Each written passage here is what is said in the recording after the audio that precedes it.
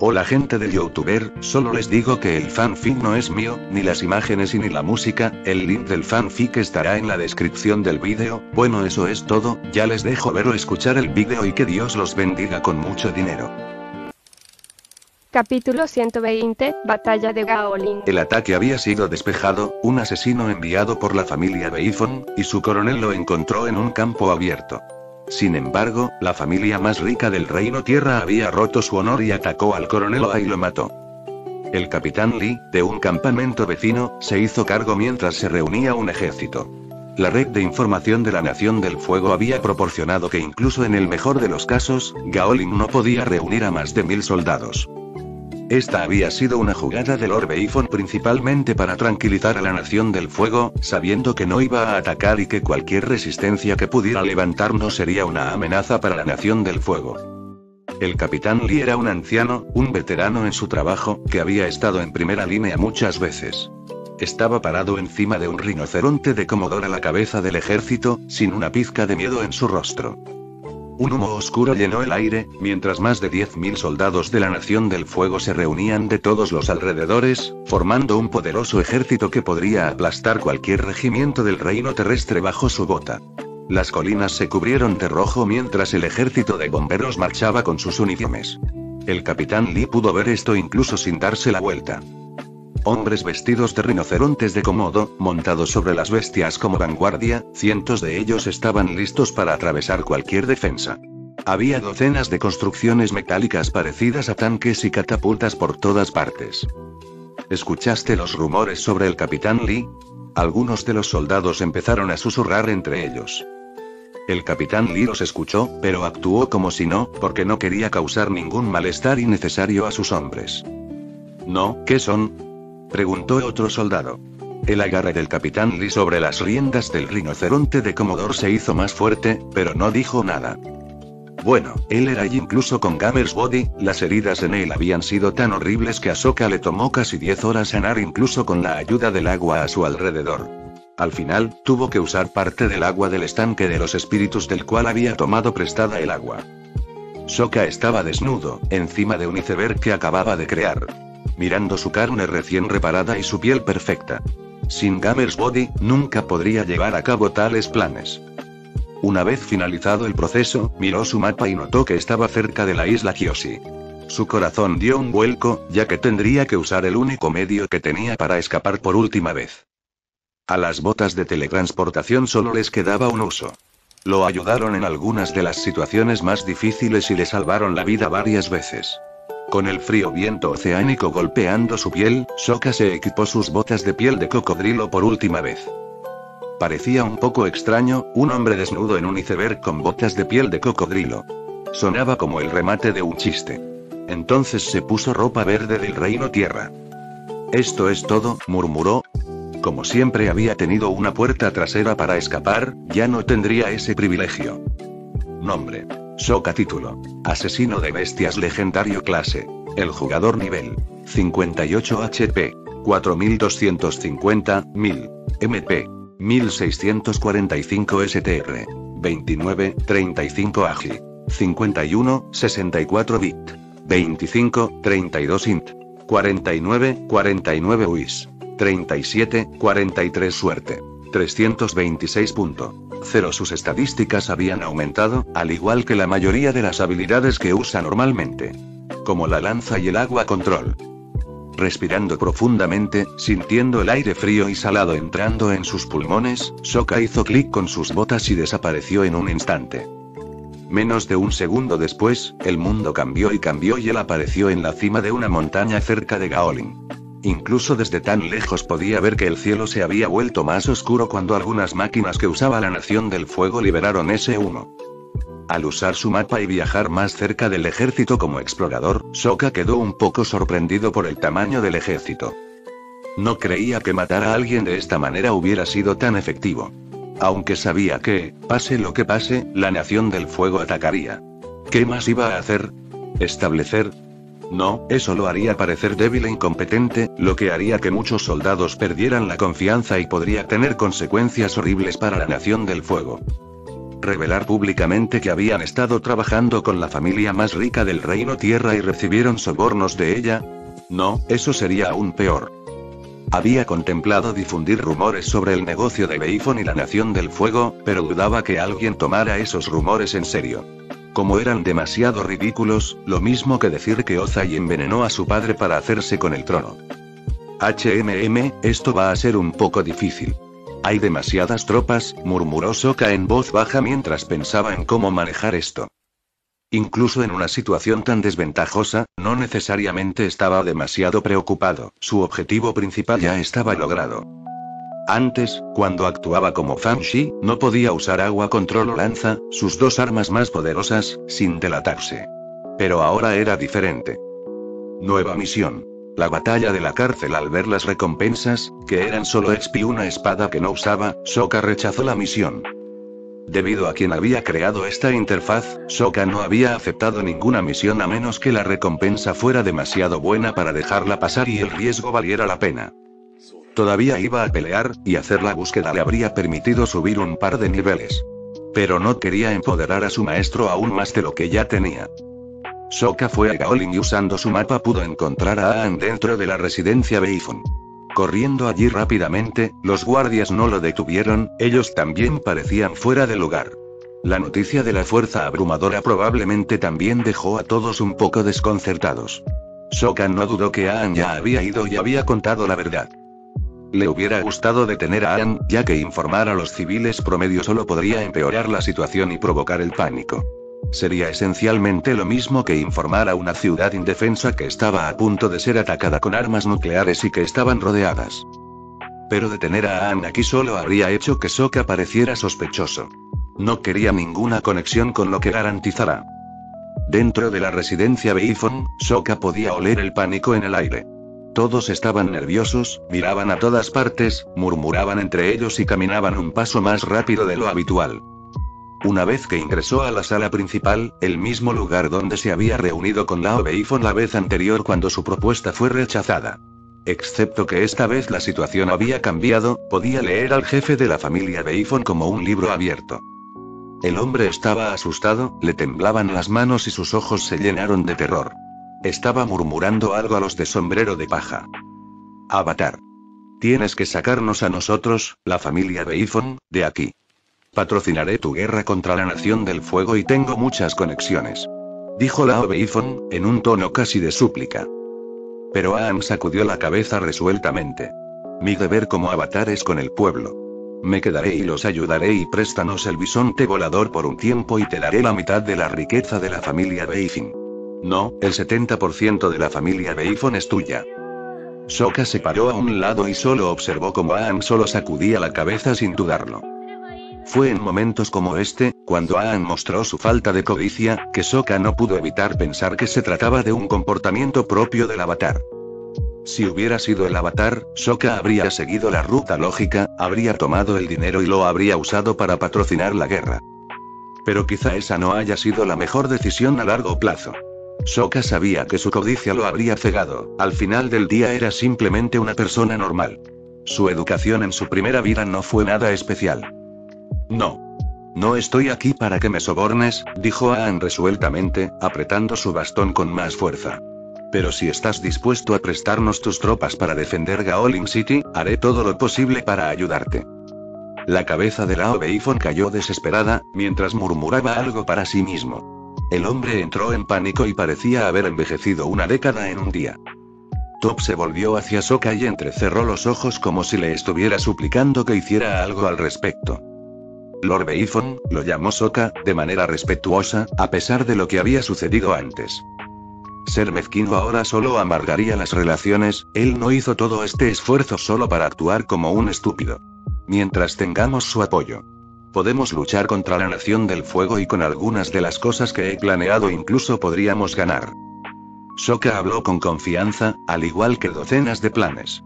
No, le vinieron a la mente cientos de ideas y planes militares de su primera vida.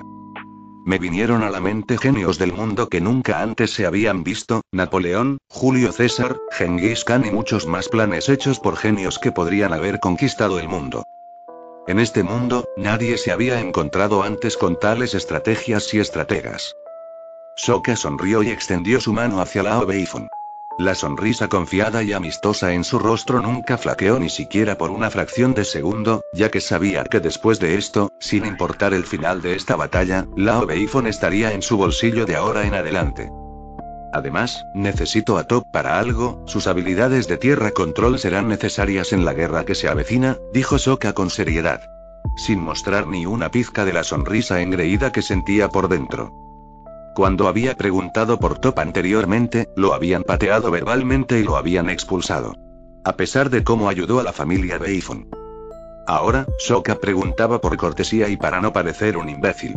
Las opiniones de Lao Beifon sobre el tema ya no importaban. Y. No puedo. Mi hija es simplemente una ciega. Lao Beifon estaba a punto de continuar hablando más hasta que se acercó a Soka. Dijiste que a él le parecería bien que yo fuera. Lo será, pero que te deje ir voluntariamente y hacerlo feliz al mismo tiempo es difícil, explicó Soka. Le había prometido a Top que sus padres la dejarían irse voluntariamente, pero voluntariamente no significaba que estarían felices por eso. Ningún padre que se encuentre en la misma situación estaría feliz. Si lo están, entonces son malos padres. Padre, voy con él, señaló Top a Soka. A pesar de cómo se ve o actúa, Soka es inteligente. No me dejará morir. Soka no sabía cómo sentirse acerca de la confianza de Top en él. Pero decidió seguir adelante. Su espíritu rebelde ardía hoy, y él no iba a patear en la boca a un caballo regalado. Padre, no soy tan débil como crees, dijo Top mientras se alejaba. El rostro de Lao Beifon decayó, pero en el fondo sabía que no había nada que pudiera hacer. Como su propio descuido lo había traído hasta aquí, y ahora tenía que cosechar lo que sembró. Top finalmente encontró la pizca de esperanza que necesitaba y fue bastante fácil de hacer.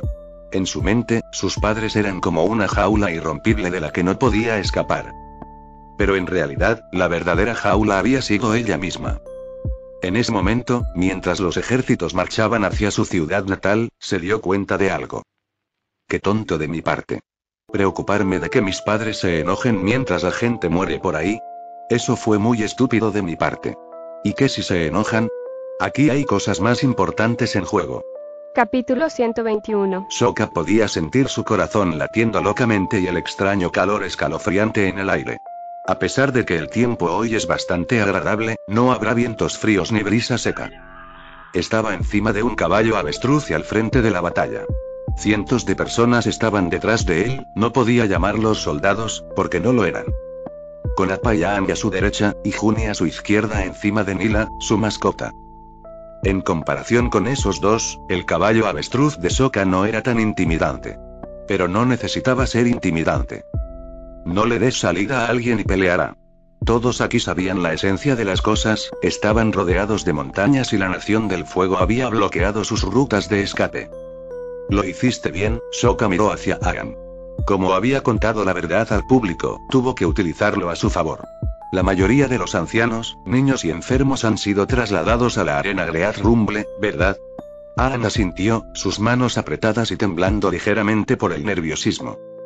Pobre chico, parece muy nervioso. Probablemente esté pensando algo estúpido acerca de que todo esto es culpa suya. Soka le daría algunas palabras de aliento para acompañarlo. Pero ahora no era exactamente el momento adecuado para tener charlas de ocio y palabras que decir. Estaban luchando contra alrededor de 10.000 soldados de la Nación del Fuego, mientras que solo tenían un poco más de 100 maestros tierra y 700 soldados no control. Originalmente había más de 10.000 soldados, pero tuvieron que crear un perímetro alrededor de las montañas de la ciudad. Para que la familia Beifon no escape. El enemigo los superaba en número por más de 10 a 1. Soka sabía que cualquier pelea frontal era un suicidio. No hacía falta ser un genio para saber eso. También tiene algunas ventajas de nuestro lado. Gaoling City tiene defensas naturales al estar rodeada de montañas. Detrás también hay un pantano boscoso, por lo que también es una especie de defensa natural.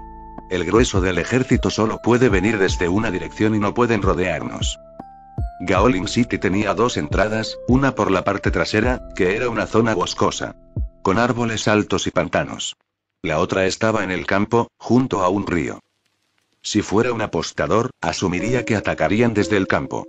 Eso se debe a los tanques metálicos que tenían, esas cosas no funcionarían tan bien en los pantanos. Aunque Soka no tuvo que apostar, usó su mapa y vio un grupo de puntos rojos que se dirigían hacia Gaolin desde los campos. Pero también había algunos puntos rojos a lo largo del río, lo que significa que estaban usando barcos y atacando por la retaguardia. Soka pudo ver que el general a cargo no era estúpido. Lo cual nunca era bueno que un enemigo fuera inteligente. Había esperado que la persona a cargo fuera algún tipo que se hubiera ganado ese lugar debido a que su familia era noble. Había esperado que el hombre dividiera su ejército y atacara desde ambos lados, pero ese no parecía ser el caso. Solo unos mil de ellos iban a atacar por la retaguardia.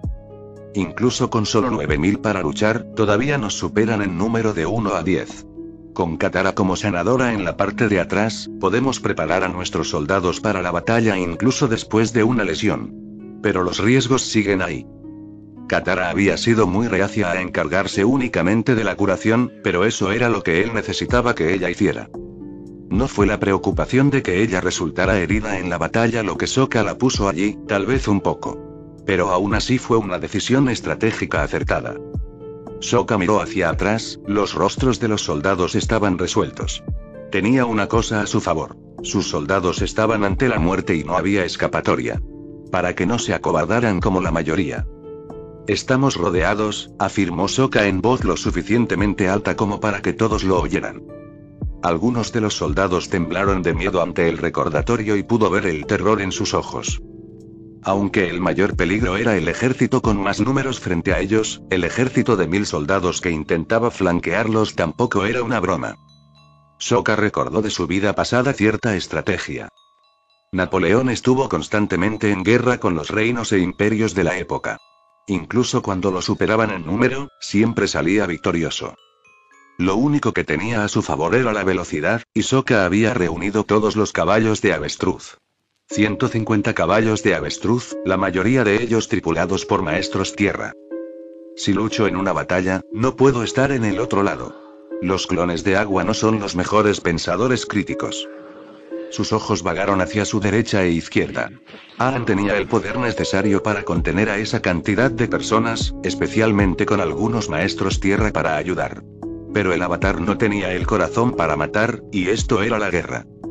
No había manera de que Aan pudiera matar o usar alguna estrategia despiadada de todo vale para ganar la batalla.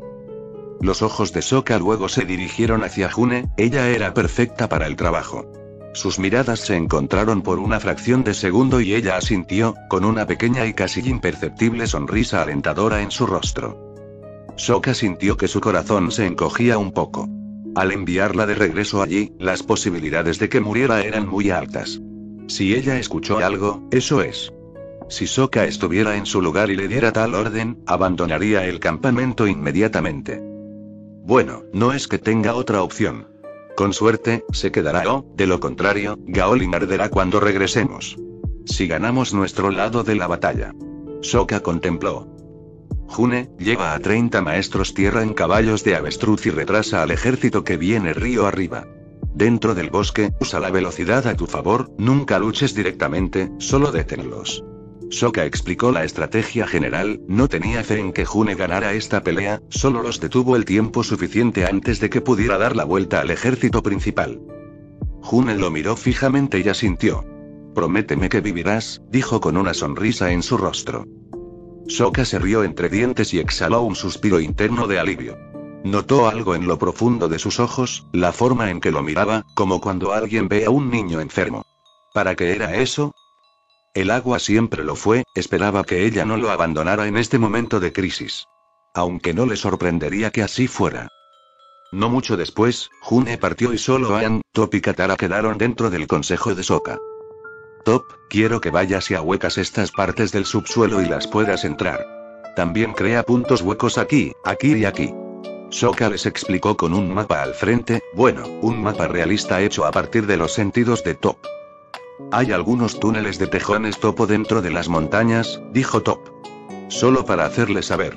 Gracias, asintió Soka, preguntándose si podría usar esas cosas. ¿Cuándo me volví tan suave? Se preguntó June mientras asumía una misión peligrosa para alguien a quien ni siquiera conocía desde hacía tanto tiempo. Soka tenía ese carisma que hacía que la gente quisiera ayudarlo. Luchar en este tipo de batalla, estando enfermo y al borde de la muerte. Se preguntó cómo hizo tal cosa. Nunca mostró una pizca de miedo o vacilación. Esta fue una batalla desastrosa, algo que no se podía ganar sin importar nada. Junio lo sabía. El olor del bosque era agradable y, mientras avanzaban, uno de los maestros de tierra le explicó el terreno local. Los pantanos no son tan profundos en esta área. Los árboles son altos y podríamos escondernos allí si fuera necesario. Pero usar tierra control desde allí es casi imposible. Nila usó su olfato para detectar dónde estaría el atacante y parecía que acababan de bajar de los barcos. El olor a fuego adherido a sus armaduras. Mientras buscaba algo que usar, June recordó algo que Soka le explicó. Ella tuvo una idea. Espera aquí, no te enfrentes al enemigo. No importa lo que diga, ordenó a sus soldados. Bueno, llamarlos soldados era una exageración, ya que eran solo algunos maestros tierra que no tenían ni una pizca de entrenamiento militar antes de venir aquí. Salió sobre la espalda de Nila y fue a enfrentarse sola a los soldados. Tan pronto como salió del bosque, cientos de maestros fuego se volvieron hacia ella con los puños en alto. Casi atacaron cuando uno de los comandantes, supuso, levantó la mano y les ordenó que se detuvieran. ¿Quién eres? June sabía que parecía una ciudadana de la Nación del Fuego, bueno, podría serlo. Su madre no tenía una reputación respetable en su ciudad natal. Gloria al Señor del Fuego. June gritó fanáticamente mientras se bajaba de Nila y se inclinaba sobre una rodilla. Soy un informante del humilde servidor del Señor del Fuego y estoy aquí para ayudarles a navegar a través de estos espesos bosques. El hombre a cargo era corpulento y de hombros anchos, con una larga barba para lograrlo. June sintió que su corazón empezaba a latir locamente. Se había dejado en una posición expuesta y no podría esquivar ningún ataque que le lanzaran. ¿Por qué deberíamos creerte? Apártate del camino, mujer, antes de que te quememos, frunció el ceño con sospecha. Luego una sonrisa apareció en su rostro y una llama apareció sobre su mano. El fuego puede ser bastante incontrolable. Joder, no funcionó. Morir quemado no sonaba nada bien. ¿Debería simplemente huir? June podía sentir una gota de sudor rodar por su frente mientras el sol golpeaba su pálido rostro. Su estómago se revolvió mientras miraba a cada uno de los maestros fuego listos para quemarla viva. Esta crueldad fue una de las razones por las que la Nación del Fuego casi ha conquistado. Estos soldados realmente parecían creer que lo que estaban haciendo era lo correcto. Apretando los dientes, June miró a Nila, el animal que la había ayudado durante tantos años. Era ahora o nunca, del que dependían miles de personas. Ella no quería morir, y no iba a hacerlo, pero por alguna razón, su instinto le decía que si huía ahora, enferma o no, Soka la perseguiría y cumpliría su promesa de una experiencia dolorosa. ¿Morir por el fuego o morir por Soka? ¿Qué fue más aterrador?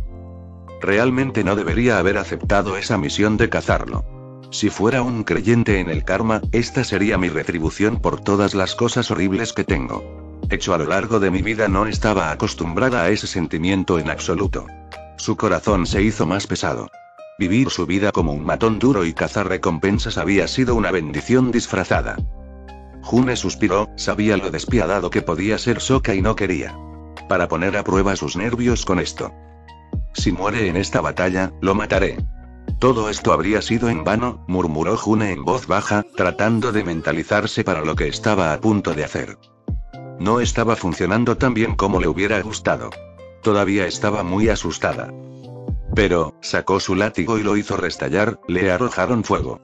Le quemaron la mano y el abdomen punto, pero ella envolvió su látigo alrededor del cuello del comandante y tiró con todas sus fuerzas. A la mierda mi vida. Gritó, tratando de distraerse del dolor. Capítulo 122. Napoleón. El capitán Lee no era un hombre feliz. Primero, había estado bajo el mando del general Zhao cuando atacó al Avatar y su equipo en los templos de los sabios del fuego. Había sido el segundo al mando allí.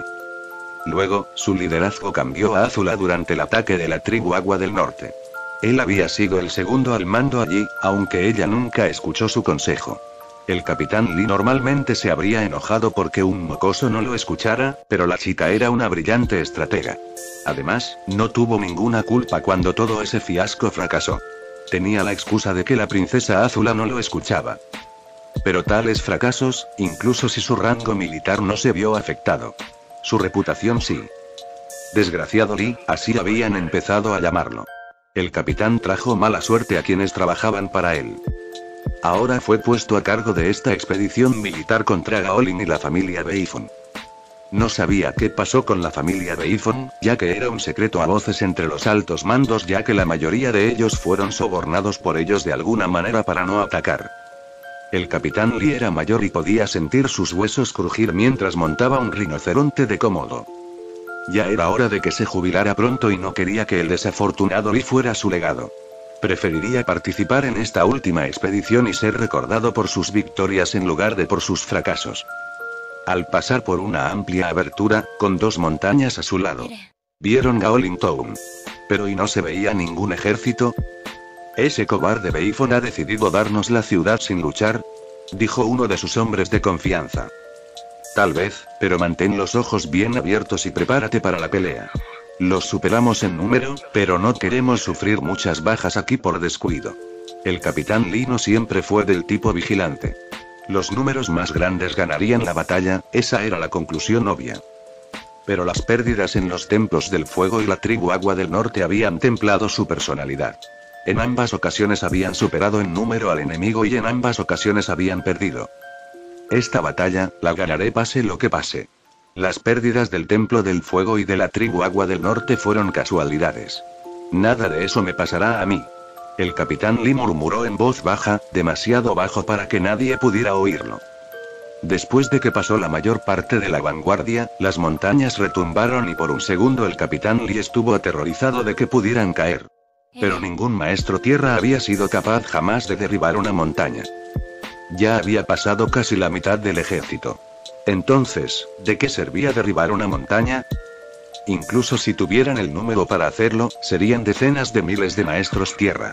Semejante estrategia sería inútil. Sería más eficaz que semejantes personas lucharan frontalmente. El corazón del capitán Lee latía como el de un león lagarto que había recorrido el mundo corriendo.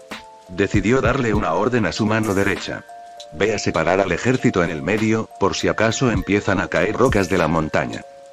Los hombres inmediatamente fueron y lo hicieron. El rostro del capitán Lee se transformó en una amplia sonrisa. Tal como lo predijo, de repente rocas rodaron montaña abajo, aplastando árboles y todo lo que se encontraba a su paso. Los soldados de abajo vieron esto y se apresuraron a separarse por ambos lados. Unos avanzan y otros retroceden. Debido a los preparativos del capitán Lee, nadie murió en este ataque furtivo. Esta será mi victoria perfecta. Las bajas serán de un solo dígito.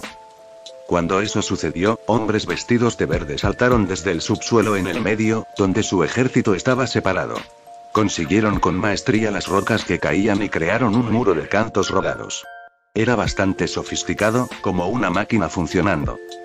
Luego, más rocas comenzaron a rodar desde la montaña, tantas que parecían una avalancha.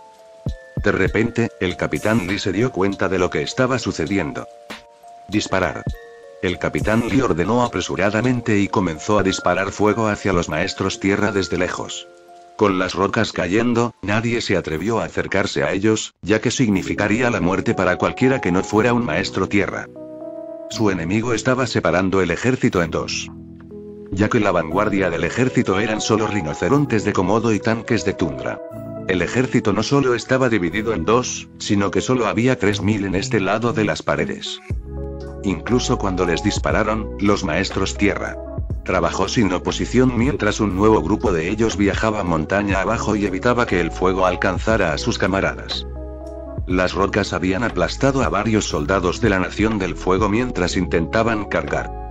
El capitán Lee confiaba en su victoria si los números eran de 10 a 10. Uno a su favor. Pero ahora se había convertido en algo más de 1 a 3, todavía a su favor, pero no estaban peleando en su campo, mientras que los maestros tierra sí. Entraron en acción de inmediato, usando sus décadas de experiencia. Necesitamos detenerlos, ¿qué? La sangre brotó de su pecho, y la punta de una lanza la guió. El dolor fue insoportable pero rápido. Sus costillas se rompieron en un instante. Quienquiera que hubiera arrojado la lanza tenía una fuerza monstruosa.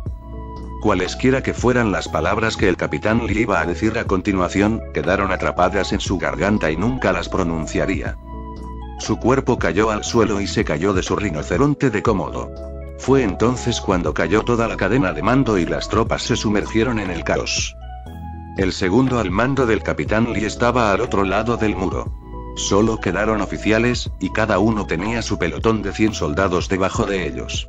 Cada uno quería hacer cosas diferentes y no había coordinación. Soka, fue extraño. No, francamente desconcertante. El enemigo tenía un ejército diez veces mayor que el suyo. Sin embargo, ¿por qué estaban perdiendo tan terriblemente? Soka aún no había tenido ninguna pérdida. Cero.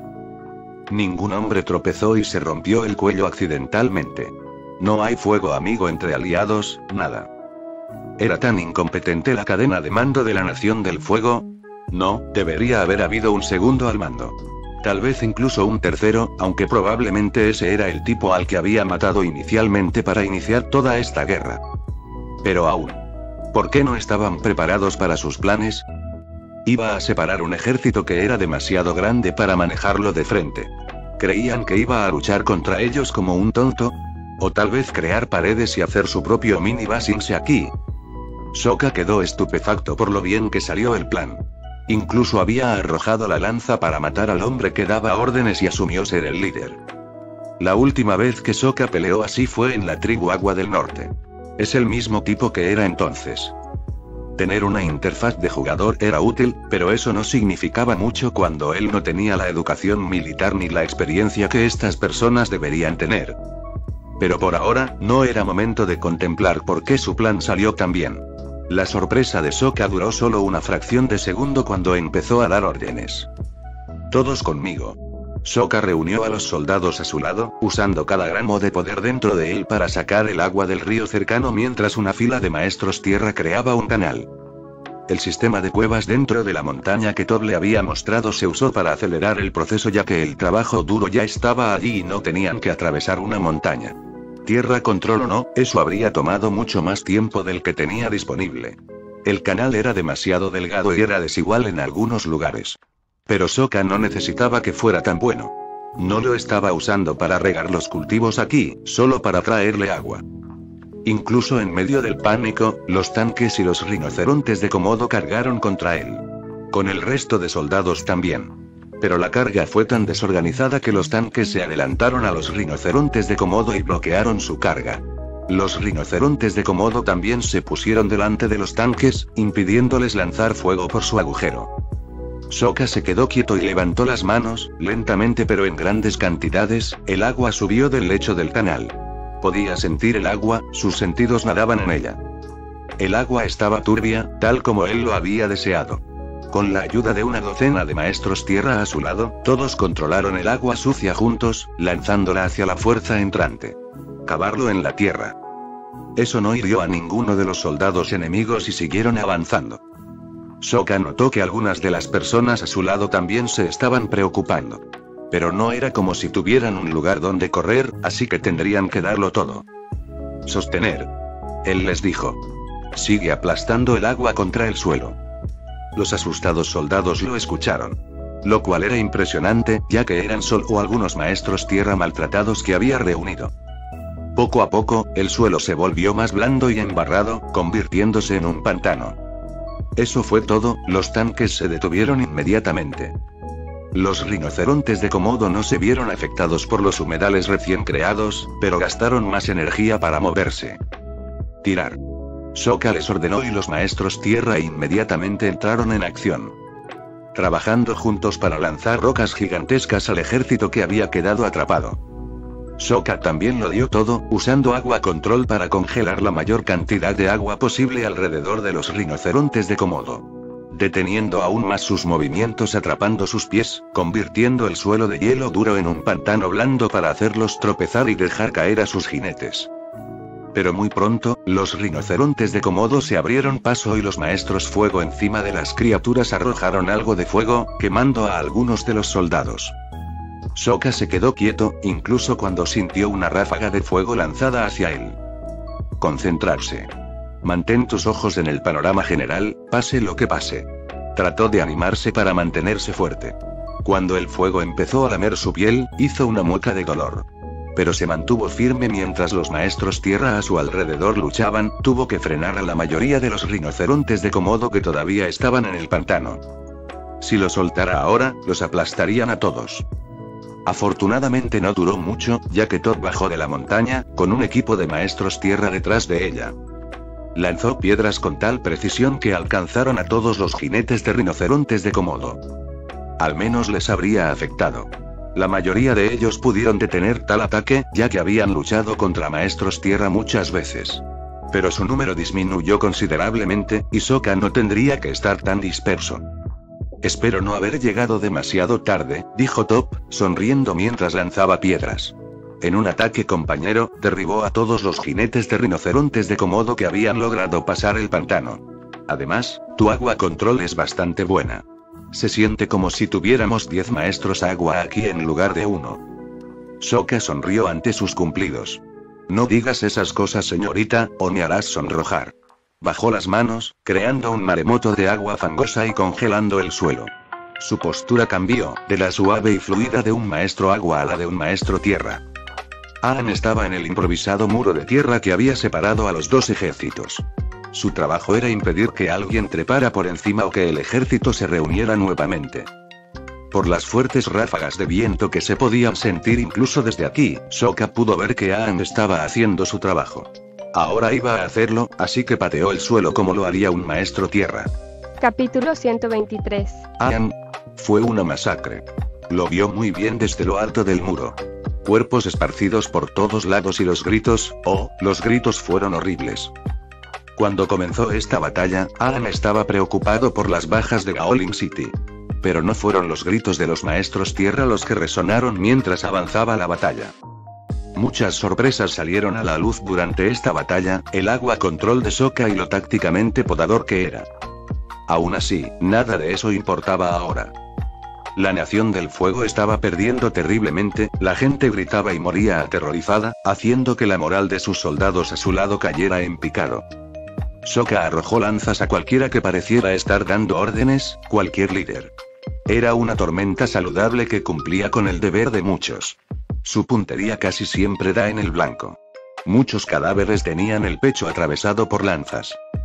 Los oficiales de la Nación del Fuego notaron que sus compañeros camaradas que daban órdenes o mostraban signos de que eran líderes estaban siendo asesinados. Los que estaban vivos ya no dieron ninguna orden, eligiendo la supervivencia antes que la valentía. Se unieron a los otros soldados para intentar escapar.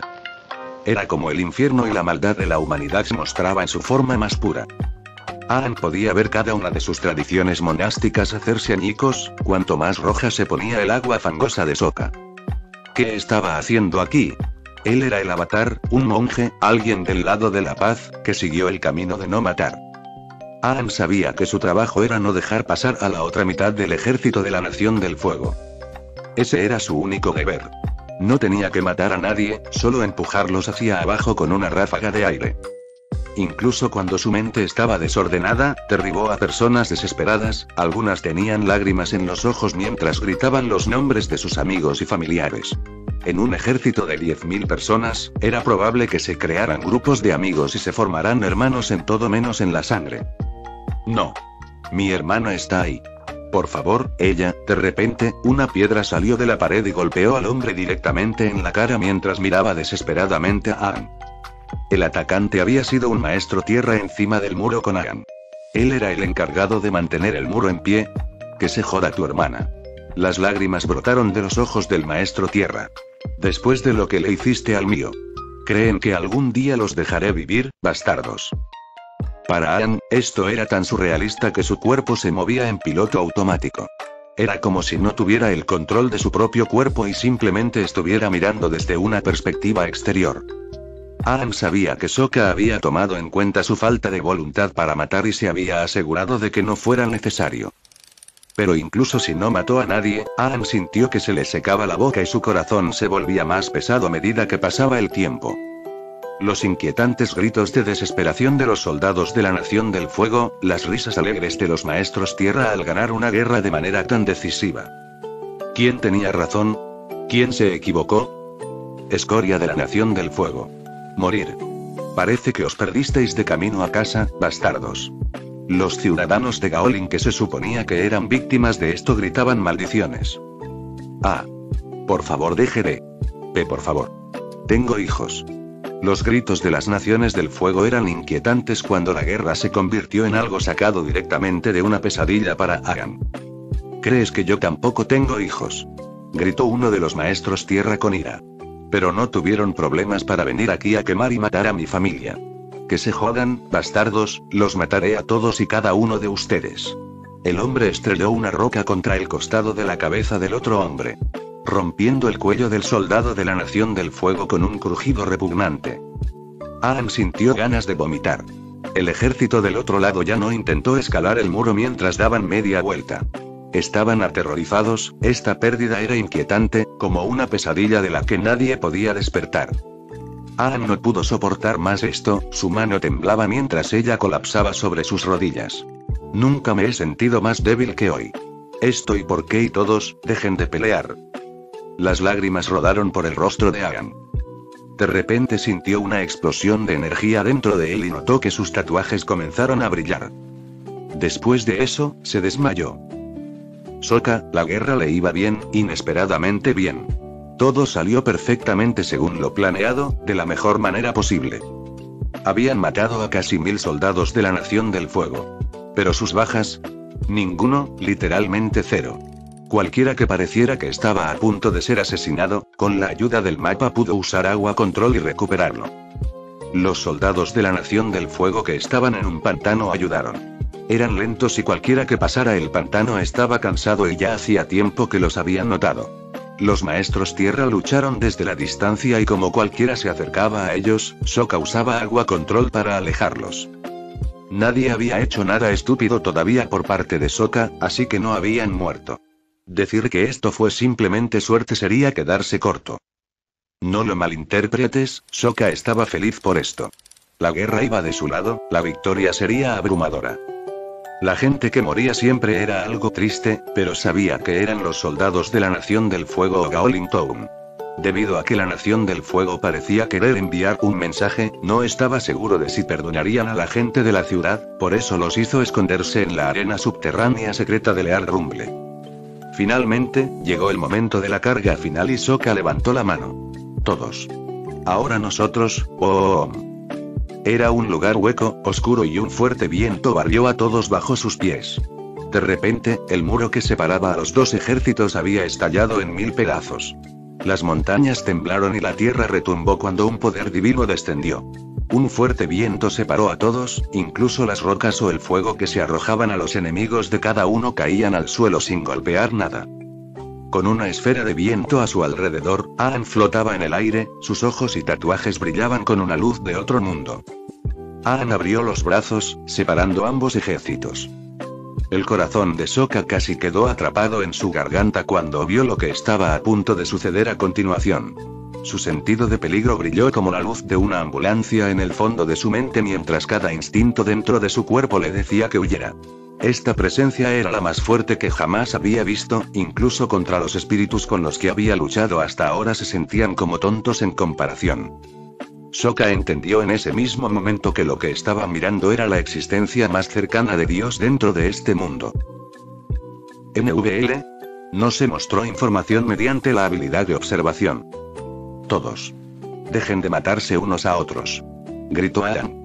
Cuando el suelo se movió, el agua inmediatamente salió del control de Soka. La voz de Aang era como la de mil personas hablando al mismo tiempo en perfecta sinergia. Era espeluznante y aterrador al mismo tiempo. Todo un río de agua surgió del suelo y rodeó a Aang. ¡Boom! La tierra se movió de nuevo, cuando con una ráfaga de agua Aang separó a ambos ejércitos. Se levantó un muro de tierra, tan grande como el de Basingse, con ambas montañas actuando como pilares laterales. Así, en un instante, se construyó una estructura que requeriría miles de maestros tierra. La pared tenía una pequeña abertura debajo, suficiente para un tren o vagón en el medio. Parece esta batalla, suspiró Soka. No era así como quería que terminara. Es mi pérdida, Aang lo había arruinado, la victoria perfecta se había convertido en otro milagro avatar. Los humanos una vez más habían dependido del avatar para lograr cualquier cosa por la que valiera la pena luchar. Esta batalla no fue la victoria del Reino Tierra, no fue la victoria que la gente buscaba al luchar contra sus opresores. No fue una victoria del pueblo que tomó el destino en sus propias manos y resolvió sus problemas.